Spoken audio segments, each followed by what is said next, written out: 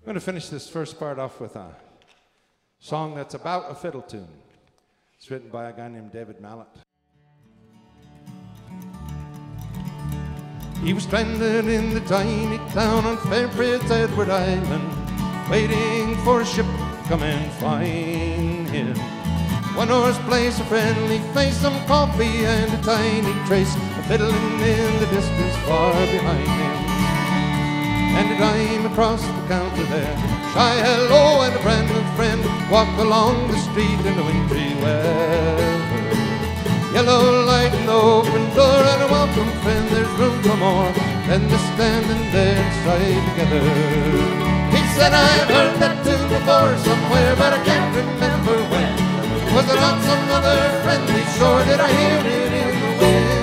Was it written on the sky above? Think I heard it from someone I love. Never heard a sound so sweet since then.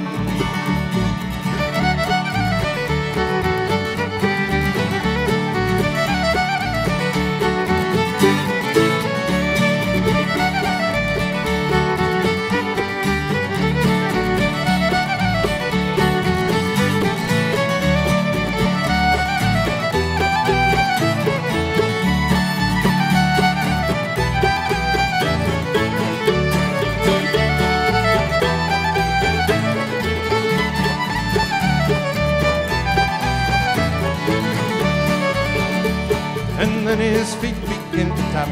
Little boy says, I'll take your cap. Caught up in the magic of her smile.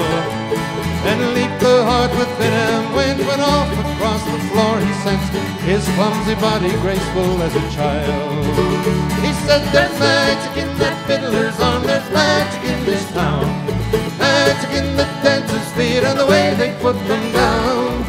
People smiling everywhere, boots and ribbons, locks of hair, and laughter and old blue suits and Easter gowns.